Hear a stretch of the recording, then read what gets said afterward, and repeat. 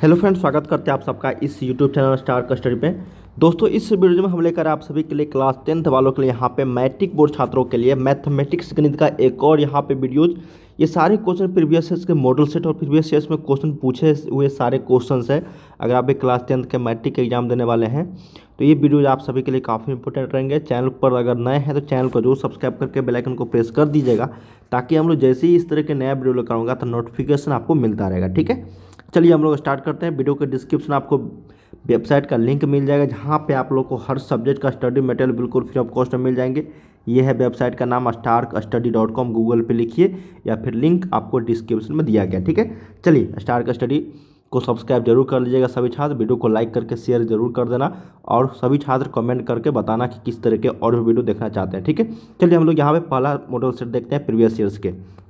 काफ़ी सारे क्वेश्चन यहाँ पे देखने को मिलेंगे, ठीक है? चलिए, पहला क्वेश्चन है कि निम्नलिखित में से कौन सा प्रमेय है? आप लोग को पता ही होगा कि डेट भी आ चुका है, बिहार बोर्ड का, है ना? जो भी छात्र एग्ज़ाम देना चाहते हैं, और आप सभी को एग्ज़ाम्स का पैटर्न भी पता होगा कि दोगुने विकल्प के साथ अब आते हैं ऑब्जेक्टिव टाइप क्वेश्चन आपको सौ क्वेश्चन दिए जाएँगे, जिसमें आपको पचास का ही जवाब देना चाहिए मतलब समझो ना भाई, अब समझो कि सौ में ना नाइन्टी फाइव परसेंट बच्चे पास हो सकते हैं। बिल्कुल आसान, सौ में पचास, अरे, तीस तो आसानी ले चलो चलो, कोई बात नहीं। पहला क्वेश्चन है कि निम्नलिखित में से कौन सा प्रमेय है? तो परमेय संख्या हम लोग जानते हैं किसको बोलते हैं, जिसको हम लोग पी अपॉन क्यू के रूप में लिख सकते हैं और जिसमें कोई भी उभयनिष्ठ गुणनखंड नहीं हो, है ना? और जो रूट में यहाँ पे नहीं, जैसे पाई, अप्रमेय है रूट सेवन अब पूर्ण वर्ग नहीं है। ये देखो तो भाई, ये भी अप्रमेय है, लेकिन ये जो है सी रूट सोलह का क्या होता है? चार रूट पच्चीस का पाँच। तो चार अपॉन पाँच, कौन सा संख्या बताओ? पी बाई क्यू प्रमेय ठीक है? चलिए नेक्स्ट क्वेश्चन रूट पाँच है तो रूट पाँच देखने से लग रहा है रूट पाँच एक अप्रमेय संख्या क्यों है? क्योंकि ये पूर्ण वर्ग नहीं है। रूट पाँच का अगर मान निकालेंगे तो two point two three six का पता नहीं क्या क्या क्या क्या, क्या, मतलब कभी भी कटेगा नहीं ठीक है? आवेग्य मैं बताऊँगा अप्रमेय संख्या। थर्ड नंबर यदि ए और बी दो अभाज्य संख्याएँ हो तो root under A plus root under B जब पहले ही बता दिया गया है कि अभाज्य संख्या है तो अभाज्य संख्या हम किसको बोलते हैं भाई? दो को बोलते हैं, तीन को बोलते हैं, पाँच को बोलते हैं, सात को बोलते हैं, ग्यारह को बोलते हैं, तेरह को बोलते हैं, सत्रह को बोलते हैं, उन्नीस को बोलते हैं। भाई ट्वेंटी थर्ड को बोलते हैं, इसी तरह से अंत है। देखो ना भाई रूट अंडर टू कौन सी संख्या है? ऑपर में रूट अंडर थ्री कौन सी संख्या है? ऑपर में रूट अंडर मतलब सभी में अगर रूट लगा देंगे, मान लो तो ये कौन सा संख्या है? ये पूर्ण वर्ग है, नहीं न है तो ये कौन सा संख्या हो जाएगा? ऑपर में संख्या। हो जाएगा कि नहीं हो जाएगा? तो तीन का राइट आंसर क्या हो जाएगा? अप्रमेय संख्या। काफ़ी सारे छात्र इसमें कन्फ्यूज़न हो जाते हैं, इसलिए याद रखिएगा। चलिए नेक्स्ट क्वेश्चन कि दो संख्याओं 100 और 190 के मौसौ और लौसौ का गुणनफल क्या होगा भाई? सबसे पहले तो इस दोनों संख्याओं का मौसम निकालना पड़ेगा हमको, उसके बाद लौसौ निकालना पड़ेगा, फिर गुणनफल हमको निकालना पड़ेगा। ठीक है? तो करते क्या है ना भाई? जब हम लोग को पता है, क्या होता है? कि दो संख्याओं का, दो संख्या जब हम लोग को मान लेते हैं ये ए है, ये मान लेते हैं बी है। हम लोग को जब ए और बी पता रहता है तो हम लोग जानते हैं कि एलसीएम और गुने एच होता है। मतलब दोनों का गुणनफल जो है, इस एलसीएम और HCF के गुणनफल के बराबर होता है। पढ़े ना? सूत्र फार्मूला तो ए गुने बी बराबर एलसीएम गुने एच इस दोनों को गुणा कर दो, वही आंसर हो जाएगा भाई। तो एक नब्बे पर डबल ज़ीरो एक सौ नब्बे पे double zero option number D इधर है, ठीक है? काफ़ी सिंपल था। चलिए नेक्स्ट क्वेश्चन। नेक्स्ट क्वेश्चन है पाँच नंबर कि, वृत्ताकार पथ पर तीन धावक एक ही स्थान से दौड़ना प्रारंभ करते हैं। तो एक चक्कर लगाने में क्रमशः एक घंटे, तीन घंटे तथा पाँच घंटे समय लगता है।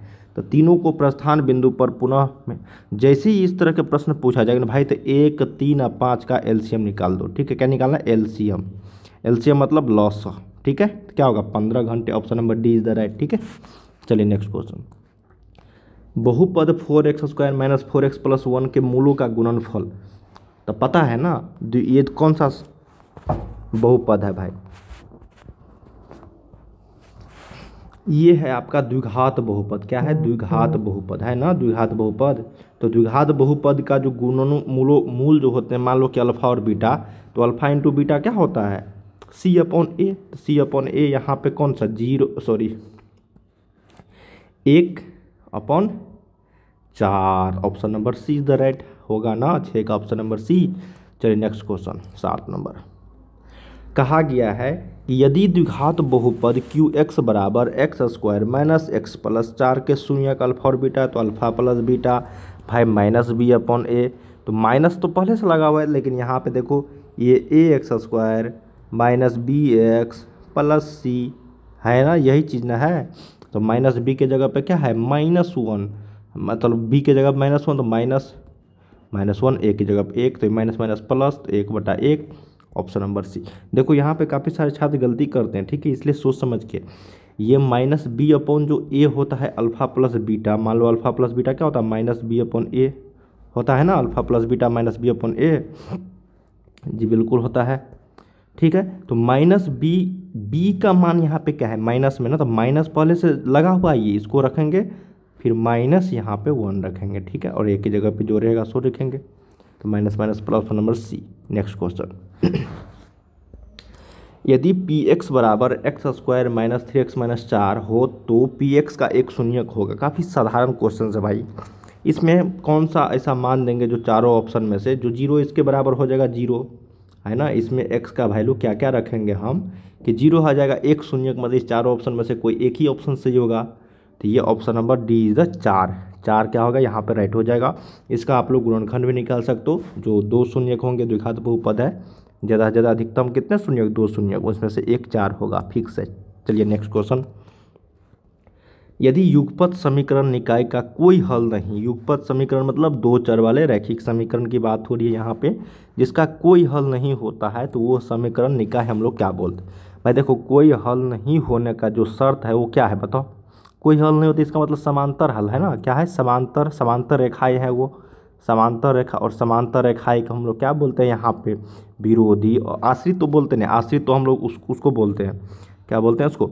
हाँ अनंत हल वाले को आश्रित बोलते हैं, ठीक?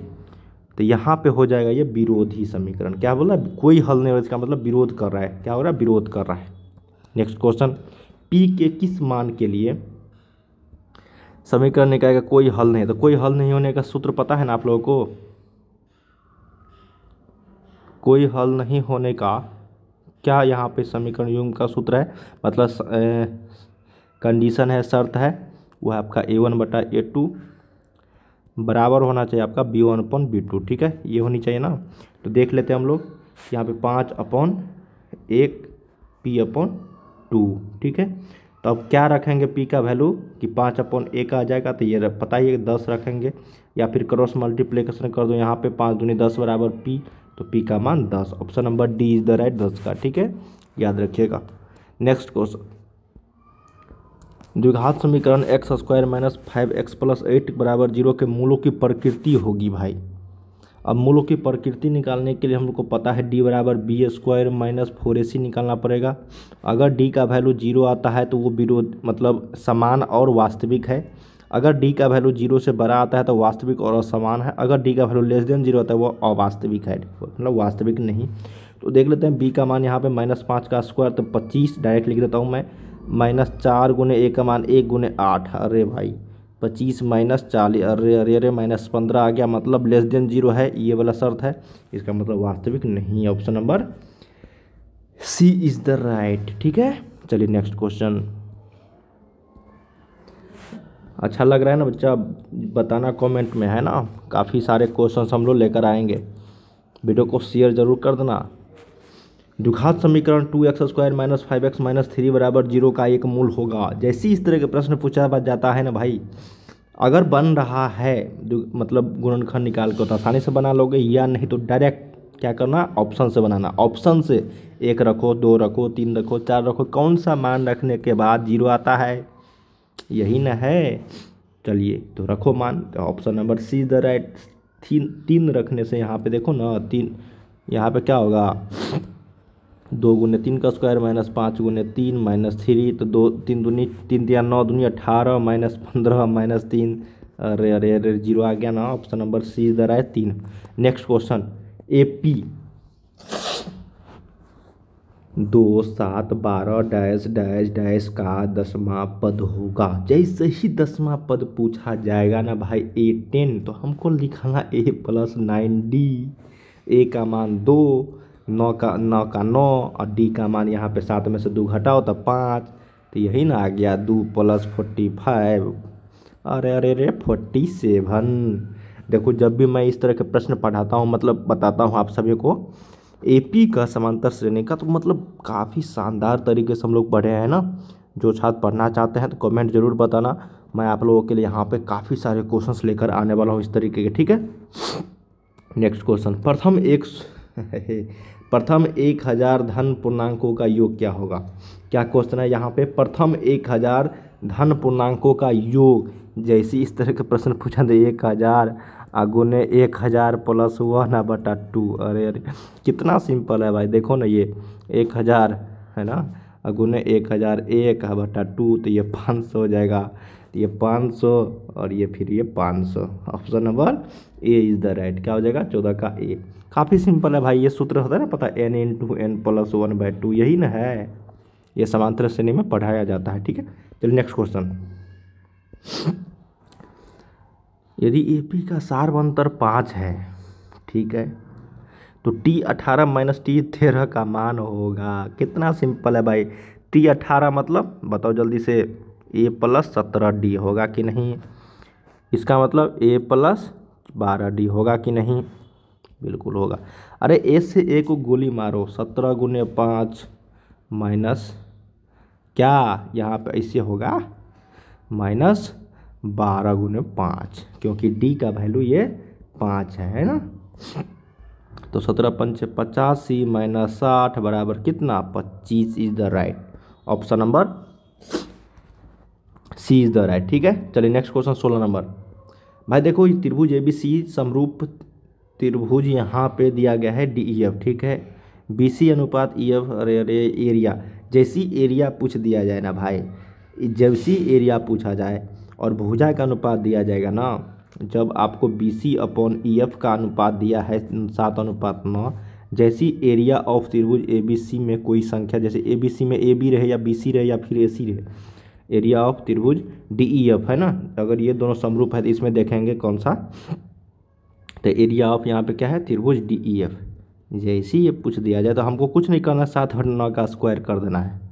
तो सात सकते उनचास में इक्यासी। ऑप्शन नंबर डी सौ सॉरी ऑप्शन नंबर सी इधर राइट ठीक है? नेक्स्ट क्वेश्चन चित्र में डी समानांतर बी सी ए की माप होगी। ठीक है डी ई समानांतर बी सी है, छः है, चार है, तीन है, अरे अरे, क्या होगा बताओ जल्दी से, क्या होगा? हमको निकालना क्या है? ए, ई का मान इसका माप निकालना है ना? ई, इसका माप निकालना है ना हमको? चलो निकालो। B C upon D E तो निकालेंगे हम लोग, बताओ जल्दी से क्या? क्या निकालेंगे? जल्दी से बताओ। B C upon D E अगर हम लोग करते हैं तो ये देखो देखो देखो देखो, देख लो देख लो देख लो। ठीक है? तो ये बड़ा बट्टा छोटा तो ये हम लोग करेंगे एक मिनट। तो यहाँ पे हमको करना क्या है ना? देखो बी सी अपॉन अगर करते हैं आप डी ई मतलब या ई डी तो ये हमको करना पड़ेगा ए सी अपॉन क्या? ए ई मतलब बड़का बटा छोटका। बड़का बटा छोटका, है ना? तो बी सी का मान छः, बटा चार। ए सी का मान कितना? ए सी का मान एक्स प्लस थ्री है ना? और ये एक्स ए का मान एक्स तो क्रॉस मल्टीप्लेक्शन का तो सिक्स एक्स बराबर फोर एक्स प्लस ट्वेल्व इधर लेके आ जाओ इसको तो ये हो जाएगा टू एक्स बराबर बारह तो एक्स का मान छः है ना? Option number C the right चलिए नेक्स्ट क्वेश्चन रे रे, ये तो बहुत सिंपल है। यदि L M L E L समानांतर है एम के, ठीक है? समानांतर है, ये दोनों रेखाएँ इसका मान दिया गया है थ्री डी प्लस हम लोग को पता है ना, ये दोनों का मान कितना होता है, बताओ? इस दोनों का मान कितना होता है? एक वन वन एट्टी डिग्री के बराबर तो दो, दोनों को जोड़ दो और समझ रहे हो ना बात? होता है कि नहीं बताओ? दोनों को जोड़ दो एक सौ अस्सी डिग्री के बराबर तो फाइव डी प्लस सत्तर बराबर एक सौ अस्सी। इसको इधर लेके आ जाओ तो फाइव डी बराबर कितना? एक सौ अस्सी में एक सौ दस। तो डी का मान कितना हो जाएगा बताओ? डी का वैल्यू कितना हो जाएगा? एक सौ दस बटा पाँच तो ये बाईस डिग्री। कितना हो जाएगा? डी का वैल्यू बाईस डिग्री। ऑप्शन नंबर ए क्या हो जाएगा? ए ठीक है? चलिए नेक्स्ट क्वेश्चन वह रेखा जो वृत्त से एक और केवल एक ही बिंदु पर मिलती है, उसको हम लोग क्या बोलते हैं भाई? स्पर्श रेखा। एक ही बिंदु पर न स्पर्श करते हैं वो। स्पर्श रेखा छेदक रेखा नहीं होगा। वृत्त है तो वृत्त जैसी जाएगा, दोनों से जाएगा। त्रिज्या भी दोनों से जाएगा। ऑप्शन नंबर सी चित्र में दिखाया गया है, क्या A B plus B D बराबर A C plus C D है? हाँ या ना?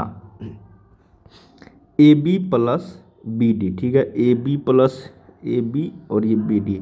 तो ए सी क्यों नहीं होगा? क्यों नहीं? बिल्कुल बिल्कुल, ये मध्य बिंदु का काम करेगा ना। ये और ये बराबर हो जाएगा, ठीक है? क्योंकि वृत्त है। तो ये हाँ यस नेक्स्ट क्वेश्चन दो समरूप त्रिभुजों के परिमाप, जैसी परिमाप पूछ दे दिया गया ना, चालीस बटा कितना है यहाँ पे? पचास, है ना? तो पहले और दूसरे त्रिभुजों के क्षेत्रफलों का अनुपात क्या होगा? परिमाप यहाँ पे है ना? तो यही होगा आपका क्षेत्रफल का अनुपात, ठीक है? क्या होगा? अभी पता चल जाएगा आप लोगों को, ठीक है? इसका क्या होगा ना? जो होगा ये परिमाप चार गुने भुज आप लोगों को पता ही है कि समरूप त्रिभुज। तो सबसे पहले तो हम लोग को भुजा निकालना पड़ेगा। जब परिमाप दिया गया है तो चालीस बटा पचास, ये समरूप त्रिभुज का परिमाप है तो ये भुज, यहाँ पे हो जाएगा चार बटा पाँच, है ना? तो ये भुजा का अनुपात हो जाएगा। जो परिमाप का अनुपात होगा ना, वही भुजा का भी अनुपात होगा सेम टू सेम क्योंकि पता है त्रिगुने भुजा त्रिगुने भुजा कट जाएगा। ठीक है? तो चार बटा पाँच का हम लोग को पता है कि जब भुजा का अनुपात हम लोग को पता चल गया तो त्रिभुजों का अनुपात जो होता है वो स्क्वायर के बराबर हो जाती है। तो चार चौके सोलह बटा पाँच है, पच्चीस तो सोलह पॉइंट पच्चीस option number D is the right, ठीक है? चलिए, लास्ट क्वेश्चन है यहाँ का। दिए गए चित्र में ओ केंद्र वाले वृत्त पे टीपी और टी क्यू ठीक है? टीपी और टी क्यू दो स्पर्श रेखा। इस तरह है कि कौन पी ओ क्यू बराबर एक सौ दस डिग्री तो पी टी क्यू इसका मान बताना है कौन पी टी क्यू ये चीज़ आप लोगों को पता होगा, एक चीज़ यहाँ से। पी टी क्यू ठीक है? कौन पी टी क्यू हमको ये निकालनी है पी टी क्यू ये हमको पता है यहाँ पे 110 डिग्री है। तो हम लोग को पता होता है ना, ये कौन जो होता है, इसका क्या होता है? यहाँ पे तो दोस्तों, इसका जो मान हो जाएगा, ये पी टी क्यू का वो हो जाएगा सत्तर डिग्री एक सौ अस्सी में से एक सौ दस, या फिर आप लोग को एक इस तरीके से भी क्वेश्चन पूछा जाता है यहाँ पे। इसका मान दे दिया जाएगा और बाहर का मान पूछा जाता है तो वो नाइन्टी डिग्री प्लस जो कौन ए अपॉन टू जो होता है वो आप लोगों को पता होगा। उसी शर्त पे ये बनेगा यहाँ पे, दो दो शर्त होते हैं इसमें, समरूप त्रिभुजों में, ठीक है? इस तरीके के प्रश्न में जब वृत्त में पूछा जाता है त्रिभुज वाले क्वेश्चन, ठीक है? इसका सत्तर डिग्री आंसर हो जाएगा यहाँ पे। तो दोस्तों, यहाँ पे हम लोगों ने टोटल ट्वेंटी टू क्वेश्चन किया है। इसके आने वाले पार्ट में हम लोग पच्चीस से आगे क्वेश्चन करेंगे मतलब इससे आगे क्वेश्चन करेंगे। उम्मीद करते हैं इस वीडियो के माध्यम से आप लोगों को काफ़ी सारी जानकारी मिला होगा। चलिए मिलते हैं हम लोग नेक्स्ट वीडियो में। वीडियो को लाइक करके सब्सक्राइब ज़रूर कर देना चैनल को, ठीक है? वीडियो के डिस्क्रिप्शन आपको लिंक मिल जाएगा जाकर प्रैक्टिस ज़रूर कीजिए।